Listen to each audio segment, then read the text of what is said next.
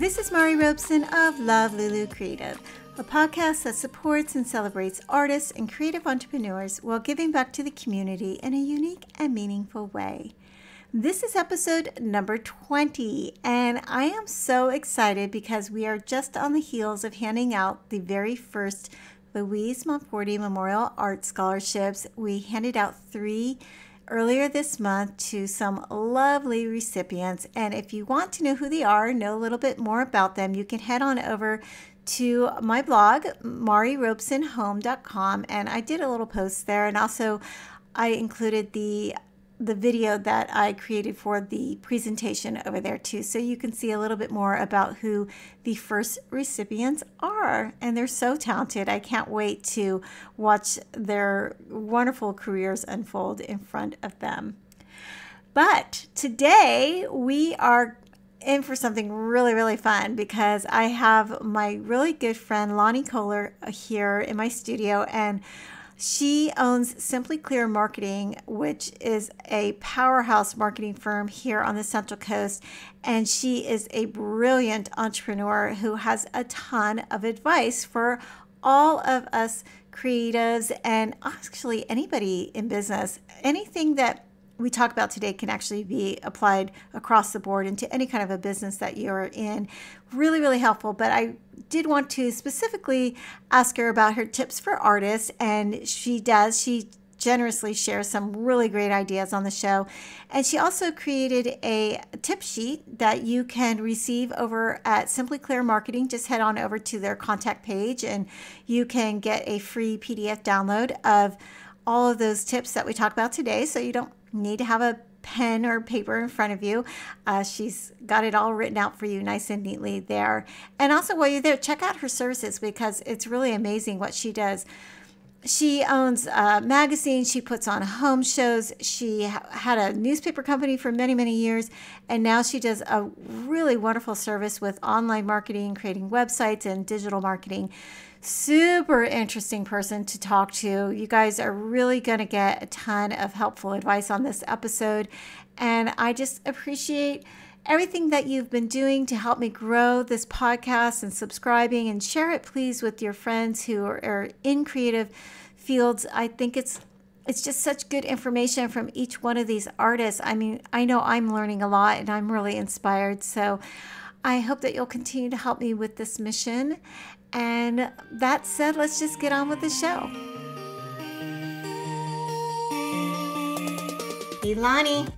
I'm so happy to have you in my studio. Thank you. I'm so excited to be here too. It's so fun. And we're going to try to not make this four hour conversation. I know. We're not very good at that, but we can do this. like meeting for coffee. I and know. it's like, wait, it's like way past lunchtime now. Okay. So I want to, um, you're like my marketing guru genius person go to. So I am going to pick your brain. Perfect. And I'm excited to talk to you. So first, I want to know a little bit about where you're from. Yeah, your background. So um, I actually grew up here in San Luis Obispo, so I pretty feel pretty lucky to live on the Central Coast.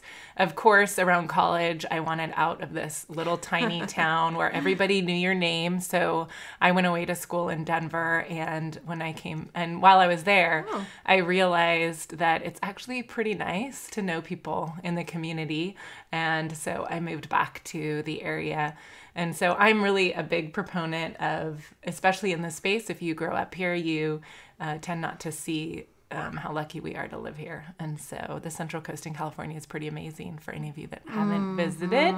Um, so I really like it and I'm grateful for living here. And so I would suggest anybody that does that lives here should move away for a little bit and then come back because then you appreciate it. Yeah, like all my kids. Yes, like bye. exactly, which is a good thing. We're not staying in this town. and my oldest is down in LA, and she just wants to move back, and oh, she wanted out so bad when she lived here. I yeah. don't ever want to live here. I want to live in a city, and so she's been down there for a couple of years now. And well, San Luis is kind of turning into a little bit of a city. I mean, yes. It's just getting for those, cityfied. Exactly. That's, From when I went to college, there was like 10 people. Yeah. So, which is kind of funny if you come from San Francisco, you're like, this is a city. So. Yeah, exactly. That was exactly my story. Our, but from our perspective, living in Arroyo Grande or Morro Bay or Paso Robles, San Luis feels like a city almost. Yeah. So, so you went to school in Denver, yeah, and then you did. What did you major in? Actually, in business. So oh, my okay. parents had their um, an antique store in Morro oh, Bay when um, I was right. younger, and I worked there, and so I decided I wanted to have my own business like them. Um, I think it's interesting being an entrepreneur um, and watching that in my family because my sister grew up in the same family as me and came away with the uh, belief that she did not want to do that. Mm-hmm. and she wanted went and worked for the city you know of Paso Robles. And so uh, coming away I think it's interesting coming away from you know looking at two people and and what they get out of something like that. So i always knew i wanted to own my own business. I didn't know what that looked like at the time. And uh, now i own a marketing firm here in san luis obispo that really has quite a few different divisions. And the thing that i'm most passionate about is helping small business. A big part of that stems mm-hmm. from being uh, stuck in an antique store day in and day out and waiting for people to come and all I could think about when I got out was how do you drive traffic to something like that? And so, hmm. one thing I love about working with businesses is that I can go out and see people. I don't have to wait for people to come to me which is pretty fun. Um, but not everybody has that luxury. So if you uh, do need to, you know, if you are kind of waiting for people to come to you, then marketing is a great tool to kind of drive traffic, whether it's a website, whether it's a retail, you know, brick and mortar, um, or, you know, something, some fair, something somewhere that you're mm-hmm. out seeing people. So you do a lot under the umbrella of Simply Clear Marketing. That's right. So, so tell me about that. So you have so, the home shows. Yeah. So, um, so we actually have three divisions. So we have a digital division, and we build websites and do digital marketing for people. Um, along with that comes a consultation piece around marketing. So we we will help um, people with social media and consult with them. And then we also, excuse me, have a publication that we produce that we're so excited and grateful to have your contributions to. And so fun. Yes, it's the magazine turned out yeah. great. So um, it's Living Lavishly, and it has a website so you can view it, livinglavishlymag.com. And we also produce the home and garden expos here locally and so we do five events uh, locally that are you know pretty big size events for our community so. So i don't know if anybody else but i'm totally exhausted right now. Yeah. and i always feel like that when i'm with you. I'm like i think i do a lot of stuff and then i talk to you and i'm like oh i'm such an underachiever well, it's all kind of morphed together over the years. It started out as one, and you know the rest well, you had kind of come. yes, we did. We too. had newspapers yeah. for ten years, and so. So what was that like? Like kind of watching the the life of a newspaper kind of die, really, yeah. because of the internet. So yeah, it's been. I think it's been. Uh, well, I mean, really, marketing has shifted um, in mm-hmm, a lot over the so. last 15 years. So when we started even our expos, you know, it really was like the only space you could find out what's going on locally besides the phone book.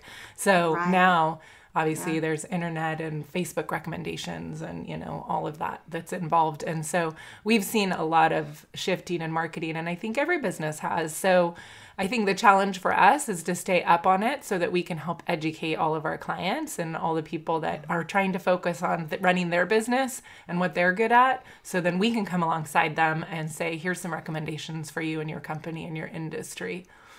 So when a company comes to you, do you do you do a pretty extensive research background on them? Yeah, and, and then... it does help um, that I'm naturally curious about people and their industry. So it's so interesting. Yesterday, I was meeting with a company for the first time, and he said, Nobody has ever asked me these type of questions and ah. these in depth questions about my company. And, he, and they've been in business for 30 years. Wow. So, so what are those questions? Well, I mean, it's, hey, let's it's, I know. Business. Yes. um, it's, you know, I think part of it is trying to understand the company and the industry to mm-hmm. be able to make the best recommendations. So, so, kind of finding where their their pain points are and yeah, and, and, how you can exactly and kind of doing some on some level a needs analysis and mm-hmm. you know figuring out what what is going to work because uh, typically when somebody meets with a somebody in the marketing industry, they're typically selling a product. And so they want to pitch the product to you. And um, we've found over the years that the best way to suggest a product to somebody is to find out about the, as much as you can about their industry or their organization to find where it makes sense for the product to fit in with them. Okay, this is a great segue to talk about art. Exactly. Because we, I, this is what I kind of wanted to get into your brain about. Yes. so, um, as from an artist perspective, so my product would be a painting or um, let's just say it's a painting. Mm-hmm. Uh, there's a lot of different things that you could take that painting and apply it to different products. But for instance, if I wanted to have a show and I was going to sell my artwork, that's really hard for a lot of artists because right. a lot of artists have worked alone, you know, or with their cats mm-hmm. and yeah. and the cat approves right. but you then you never know when you get out into the public if, if like people are actually going to like this yes. and um, it's it's pretty nerve-wracking and then you know the whole imposter syndrome like who am i to even think i could be selling this or yes. is anyone going to like it so from a marketing perspective what would be your advice that you would say to somebody who is uh, maybe a little bit nervous about putting their product out there? Yeah i mean i think that the first thing that somebody is going to have to know from the bottom of their heart is that you love it and if you love it there's going to be somebody else out there mm that does love it. Mm-hmm. um, the reality is that not everybody is going to like everything. And just like you know with my products and services there are people that don't aren't successful with a product or a service and um, and then I'll have the next client I talk to is very successful. So over the years, I've had to learn not to take all of that personally, mm-hmm. Um, mm-hmm. and instead try to help the person find you know something that's a better fit for them mm-hmm. and not take it so personally so from an artist perspective i do think the biggest challenge is that typically when someone is diving into art you become so emotionally attached to the piece whether it's a, a painting or a fabric, because there's typically a story behind it. Mm-hmm.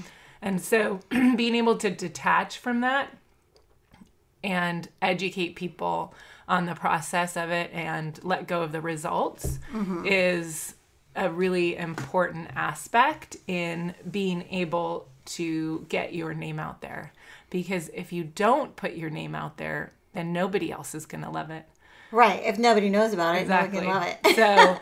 so, um, you know, kind yeah. of looking at where that fear is stemming from and mm-hmm. working through it so that you can have the courage to put it out there. Mm-hmm. And I think that from a um, I think one of the biggest challenges too is that an artist doesn't want to sell themselves or um, talk too good about themselves mm-hmm, and mm-hmm. Um, has a perception, you know, that uh, that they're they shouldn't be doing that kind of thing. But the story and the personality is typically what causes somebody to buy something. Right. And so the more you can do that, the better off you're going to be with your art. Right. And that's what I that I think early on in my career somebody had said this to me that, you know, uh, people buy the person behind the brand. Absolutely. So if they like the person and they trust mm-hmm. the person, then they're going to be more apt to really want to invest in the product that mm-hmm. that person is selling. Yeah. Um, that's kind of why I wanted to do the podcast with all of these artists because I see so much beautiful work and I know them personally, but most people don't. So here's their story too, and here's their work and it's kind of like you really get to know that person mm-hmm. and it i don't know it's just so much more valuable and so much more interesting and whenever i'm telling like an interior design client who we're getting to the part of their home design and we're like let's put up some art and they're like oh i'm just going to go down and to home goods which i love home goods don't yeah. get me wrong but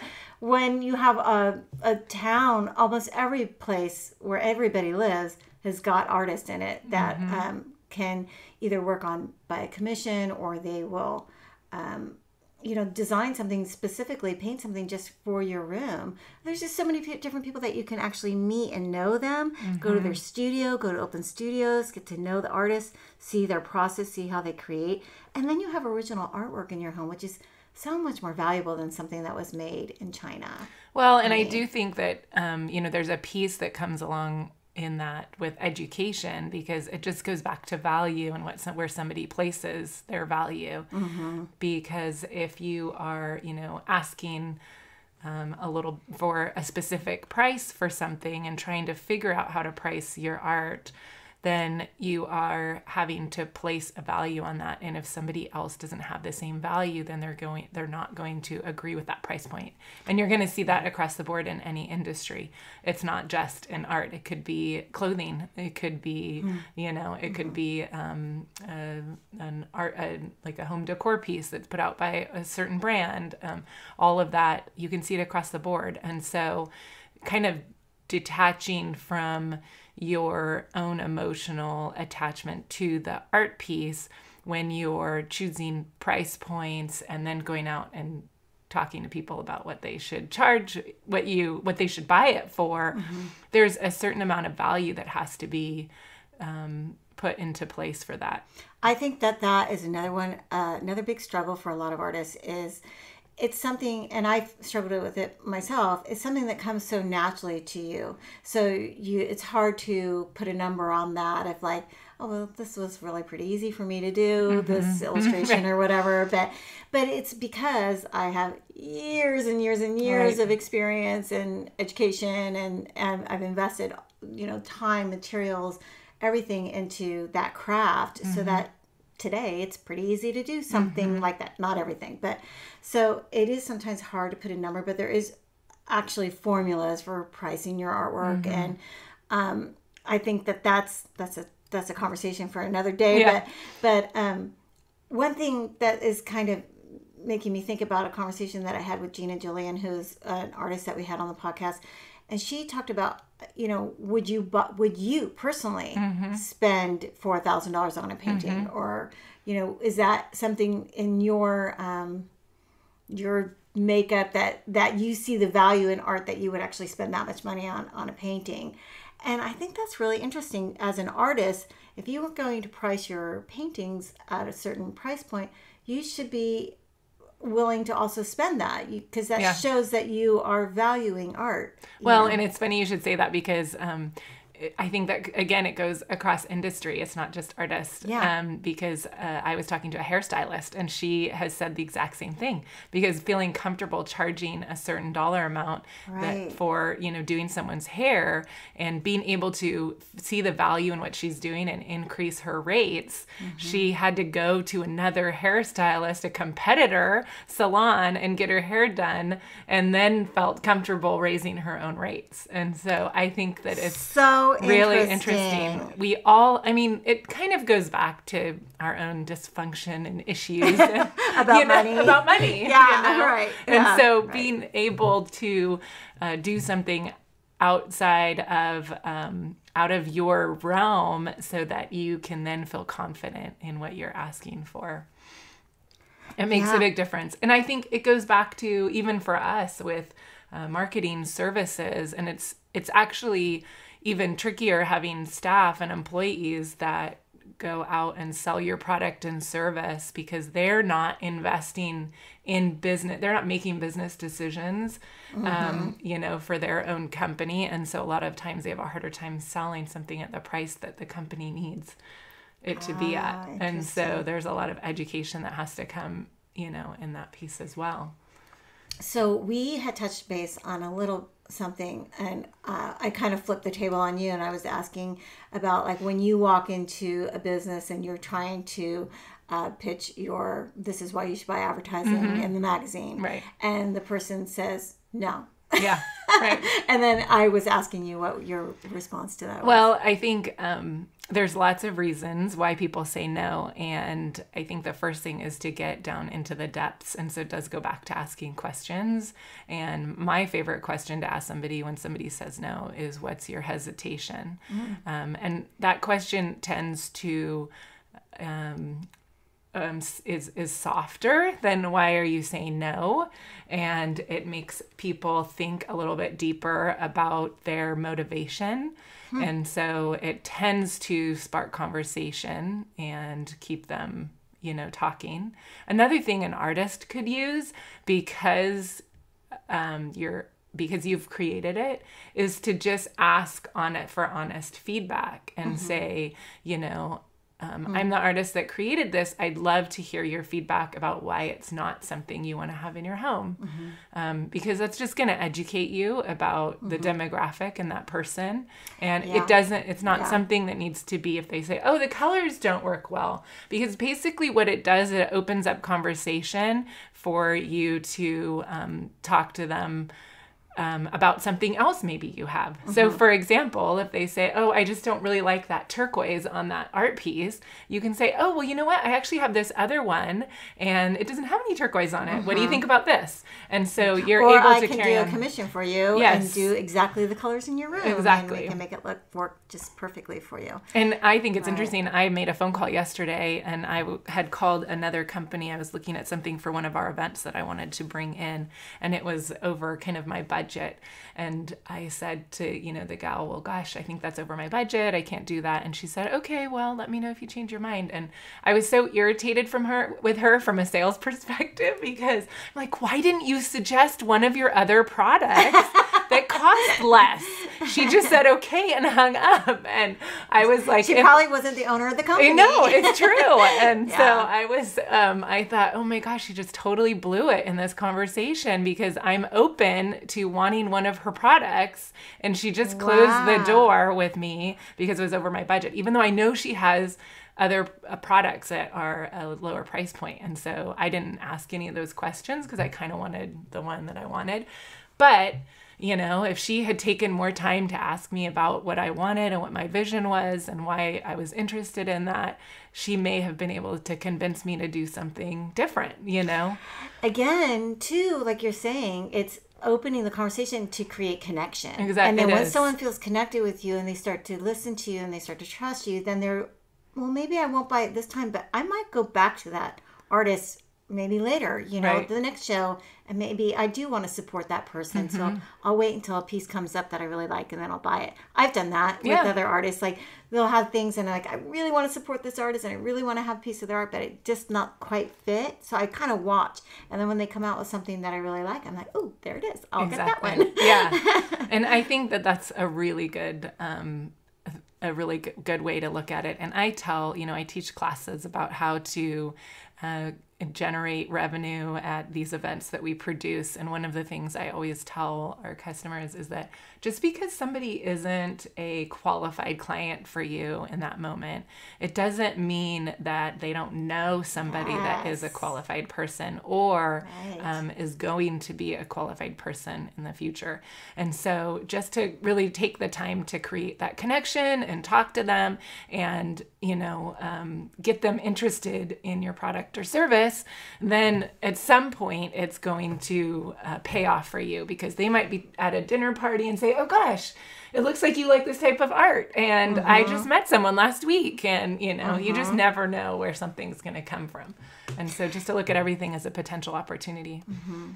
And and to circle back around to that like don't take it so personally Mm-hmm. like just you've got to get to a point where you can detach it and and you were you and i were talking before and saying like that must be really hard because you're really putting in your like soul into a piece that you're creating and i was telling you that over the years doing a lot of commercial art um, you know, you get rejected all the time. Like that's not the right color, it's not the right scale. It's like you got to re- redo that, redo this, redo this, and it's little bit easier because you're doing it digitally or you know in Photoshop or something. But you kind of get a thick skin after a certain point. You're like, I get it. Like it's just not right for you, but that doesn't mean I'm a horrible person, Right. or that my art isn't good, or Right. that you know it's it's just not the right fit for you. And sometimes it's not the right venue for you. I remember when um I started out really when like in my early 20s and I was painting these boxes that were um all hand painted wood like they were really gorgeous. I even still have some of them. And I went to a craft show, I think it was in Morro Bay.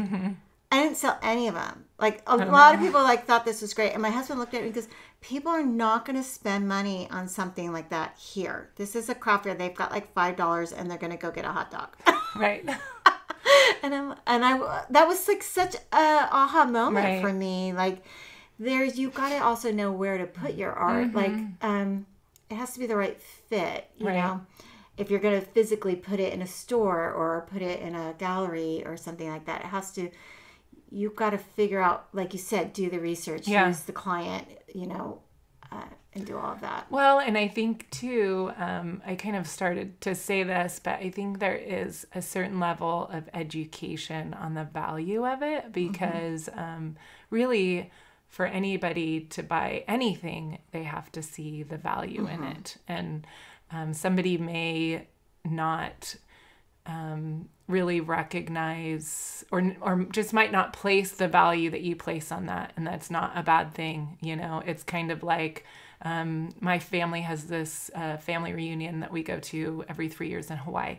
And I think it's amazing. My mom thinks it's amazing. We have such a great time. Um, we stay at a little hotel, and a lot of times there's a lot of Hawaiians, so they'll we'll do potluck dinners, and there's you know authentic Hawaiian food, and it's really super fun. My aunt, on the other hand, you know, when she goes on vacation, she really wants to sit in some resort and have people bring her drinks and not so so um so we are putting different values on that vacation time and what you know is important to us Sure. it doesn't mean that one's wrong it's just a completely different value Yeah. and so i think that happens in art a lot as well in purchasing products for your home that some people just aren't educated enough to see the value Mm-hmm. behind it or have the passion behind it. And so the other thing I think So that's how really think important. you would go about that then? Like, how would you say, like, how can I show that this piece of art is valuable for you? Well, I was just going to say too, I think a part of it is um, education um, because and and also that people's values will change over time. So that's Sure. where I think that part of it is just staying in front of somebody that maybe they're not a good fit for you now, Mm-hmm. but in 3 or 4 years it could it could potentially change their whole taste might change. Mm-hmm. And so I think that that's a really important aspect. So, like when I think about marketing and I think about an artist and the opportunity they have for letting people know about them, you know, doing something like email marketing to just stay in front of mm-hmm. people for a continuous basis. The other thing is that the more you see something, the more you like it. So if you're able to stay in front of somebody for a longer period of time, it might be a few years before they actually choose to purchase from you because you've, you know, stayed in front of them, they've seen it continuously, they start to appreciate it. I think this is a really great thing to talk about because that is actually a psychological thing. Like, Right. people are so consumed by media all the time Right. that they have to see it at least a minimum of seven times Yep. before it even registers in their Exactly. brain what they're looking at. And I think for myself, as in my little Instagram world, like I'm always like, I gotta post something new, gotta post something new. But I see a lot of artists reposting the same piece of art. Yeah. And I'm like, I'm constantly cranking out new art. I'm like, this is not, you know, sustainable. Mm-hmm. Right. But that that's um that's a good point because sometimes I feel like, gosh, I don't want to like show this again. Like I've already showed this, and Mm-hmm. then you know you feel like. I'm. Do people even want to see that? Sure. You know, again Right. and again and again. You know, so it feels a little counterintuitive Mm-hmm. to want to stay in front of somebody like that and keep putting it in front of them. But the psychology is actually the opposite. It is. And actually, it's, um, yeah, most people stop after three times of connecting with someone in some way, whether it's, you know, a phone call or an email or something like that. But it typically takes people seven times before they'll make a decision. And so that's why a lot of times sales don't happen because people stop before people are ready to make the decision. And so you literally need to stay, you know, connected with somebody for a long period of time before they're ready to um, reach out. And then I think too, that's one of the amazing things with social media is that you can tell your story in little blips and mm-hmm. continuously and over and over in front of people. And so being able to put, you know, how many hours you're spending doing art and, you know, those kinds of things, that's what creates value for people. They and so that they're starting to understand the process behind it. Yeah. Because without the process, they don't know. And they say rude comments, like I said earlier, like, oh, my kid could do that. Yeah. And so, meanwhile, somebody has spent, you know, hours and hours um, contemplating a thought process, developing color aspects. And, and so I think there's a lot of, opportunity to educate people in the actual process of an art of an art project or an art design and um, and then taking that to the next level where then suddenly they're starting to see the value and then they suddenly want it in their home I love that. I love that. I noticed that like when I'm working on something like a, a bigger piece and I'm I'm usually showing that like on my story. So it's like little snippets of like the process of that. I wouldn't necessarily do that like on my my feed, but now it kind of makes me rethink that a little bit.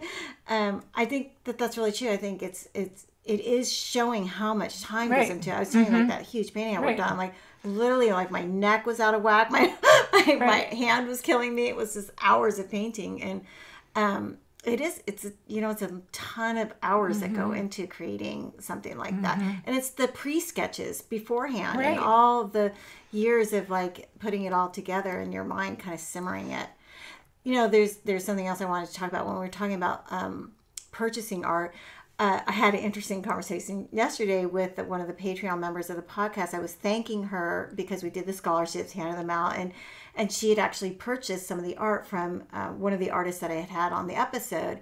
And she goes i'm really happy to do it. It was really a pleasure. Um, plus i see it as an investment and I wrote back, You're not kidding because I knew that artist was going to be big and now he's totally taken off. That's exciting. And you got a piece of Yeah, artwork right. way back on the podcast when he was like episode, I'm talking about Ted Rice. Like Mm-hmm. he was just coming out and I saw, I saw him, when I first saw him, I was like, This guy's going to be big. Like I, I loved his style and I knew he was doing something really authentic and different. Mm-hmm. And I talked to him years before I even had them had him on the podcast and he was just starting out and he's and and now he's like huge. I mean he's like I'm like, well there you go. right Good. So listen, telling you people the artwork, the people I'm having on the podcast, like I know I have an eye for who these artists are, and I can tell when they're going to be That's big exciting. at some point. So Yeah, that's it, fun. it can also be a very good investment. absolutely yeah So, um, especially when you can get, um, when you do have an eye, or you can see Mm-hmm. someone who's like, this is an emerging artist, like this one's going to be big. I can see it. yeah Yeah. So I think it's kind of fun. And what we talked about a little bit is, you know, if you are looking from a a marketing perspective on how to get your art out there and how to sell it, um, some of the things that I think are really important are to connect with people because they tend to buy from somebody they like. And so that's a really important piece. And to So tell do you your mean story. like connect in person, like have a show, be Oh, absolutely. and- That would be huge. Yeah. Absolutely. I think that would be amazing. If people can talk to the artist specifically and connect with you, Mm-hmm. they're going to be way more um, um, inclined to purchase your Which art. is also again very counterintuitive for an artist. I know because a lot of times tend to be introverted Yeah, more than much so, extroverted, yeah. and so it can be really exhausting. But Mm-hmm. the reality is, people like to feel connected to Yeah. people, and um, and I think even with social media at the level that it is Mm-hmm. nowadays, that there's a yearning for human connection, and Mm-hmm. so um, so actually getting out and talking to people face to face is um, is really invigorating for a lot of people, and you connect in a completely different way. I totally agree. Um, so I think that that's really valuable. I think it's really important to not take things personal and recognize that your artwork is amazing and that there's going to be people out there that don't like it and there's going to be people out there that do like it. And to just as humans we tend to focus on the negative and so to just focus on the positive ones um, and just kind of let those other ones go. Um, and then to continue to stay in front of people. And so i think anything that you're doing the more you can drive um, email addresses to yourself so that you can you know stay in front of people in that that form i think there's a lot of value um, because So the email list is really a big thing because um, it's the one thing you control, exactly as opposed to algorithms changing. and- Exactly. And I think, you know, about five years ago, everyone kind of thought email was going to decline and go away from that. But with the way social media algorithms have shifted, then you know now Facebook and and Instagram and you know whoever you're using owns all that information and you don't have control over it and they're controlling who sees what. Mm-hmm. so it's really important for you to grow your email base so that you can stay in front of people. And it's okay if they don't open it every time. You see it come through and your perception of that person is oh gosh they've got something new. So even if they don't read your email or mm-hmm. open it they're seeing that you have something new. And so some one month when you send that email they're going to go oh gosh i'm going to see i've got so and so's birthday's coming coming up. Maybe I'll get them an art piece. Or, mm-hmm. oh gosh, you know, my anniversary's coming up and I'd really like to do something special for myself and buy myself an art piece. So you don't know what's going on with people and that's going to trigger them to take a look and see what your most recent art pieces are. But the more you can gather that email addresses, the more control you have over it. Yeah, that's true. I it's not easier said than done. it sure is. Just like everything. Yeah, I mean, I think so because it's just you know, there's there's so many emails that come in in a day, Absolutely. and like. I know there's a couple that I, I love to always open or I save to open because there's they're valuable. Sure. I see the value in in the little conversation that they're their information that they're sharing. But even like I mean, I think about Bed Bath and Beyond. I get their emails and they send way too many emails. I just delete them like nine times out of ten. But then there's that time like, when I'm like, I oh, I, I, need to go down there, and oh gosh, I think there might be a coupon in there, and so I search my email for it. So it keeps it top of mind for me as an option for shopping. So you don't see it as bugging people. Absolutely not. It's staying in front of them. It's not bugging them. Oh, so how often would you send out an email? Oh, I think easily at least once a month. Once a month. Uh huh. Okay. Mm-hmm. Twice a month is okay. I think that's absolutely fine. Okay. I think twice a month is fine too. Especially, you know, um, when you're doing. I guess when it comes to email marketing, what you want to do is is um, display some value, so that when they do open it up, they're like, oh my gosh, I didn't know that, or oh, I'm seeing something new, or they're feeling some connection to you. Mm-hmm. So by just making sure that you have that information, something fun in there that is connecting them, and you know, maybe it's a, a process, and maybe it's oh, here's my um, pencil drawings for this month. Open my email next month to see my um, watercolor design or something like that. Ooh, that kind of yeah, um, kind of keeps people interested in um, in staying connected to you. I think there's a lot of opportunity. What other ones you got? That's a good one. I think I'm gonna have to do that. um, I mean, like I said, I think it's just anything that that shows value, and even educating people on um, on art as an yeah investment. i had one that i i get uh, from an artist that i interviewed and she hers today was like how to hang art in your home and how to select she exactly. does things like how to select art for your mm-hmm. home and you know, knowing about the scale and the size and mm-hmm. where to get frames and mm-hmm. and things like yeah. that is always really helpful because I think people do like they they'll purchase something and they're like I don't even know where to go get a frame. well, and for content, a great way to get content is to go do like an art fair or a show and sit there and talk to people, write down right. every single question they ask you, and then all of a sudden you probably got content for an entire year because that, that means people do not know the answers. And it's stuff the the most challenging thing, I think, and it goes back to what we started the whole conversation with was like your own personal value, is that you don't realize how much you know because it's all inside your head and it's your experience. And yeah. so I remember when I was writing the book and I was telling that to you, I'm like, who's yeah. gonna want to read this? And you're like, right. I, I will. I, yes. and that was really helpful for me because uh-huh. I was like, you know what? I mean, this is stuff that I know because I've done design for so many years, but it's like maybe some people won't know this. And exactly. So, yeah, no, was... there's a ton of good, great information in your book. So I think it's just putting together that content would really um, um, and and in a simple, easy way like that makes it a lot easier for you to answer questions and put together content. It doesn't have to be this huge, overwhelming task of what am I going to send out in my email every month. You can be like, oh look, here's six questions people asked me. Um, last time I was out, you know, talking to people about art, and I'm just going to answer these once per month, and somebody on your list is going to find it interesting. Such great advice. I love that so much. I'm actually totally going to do that. Good. Yay. I'm so excited. I had to find an event to show my art. anyway, that's that's really helpful. Yeah. I really really like that. So, um okay, well, I usually I, I'm usually going to kind of uh, see, I told you, like this could literally go on. I know. We'll we probably do- should wrap it up. we'll do another series of um, specifically relating to this. But um, I wanted to ask you when you were starting out. I always liked it because this is geared towards. We just had our scholarship recipients are Yes. heading off to college. Like, what would be your business advice uh, to your younger self just graduating from college? Oh, that's a good question. Or not necessarily graduating, but choosing to go out. I mean, you chose Mm. Yeah. the, the entrepreneur path Yes. as opposed to your sister. So, Yeah. what what would be your advice, Um, hmm. That's a good one. especially for an entrepreneur? Mm. Well, I've had lots of successes as an entrepreneur and I've had lots of failures.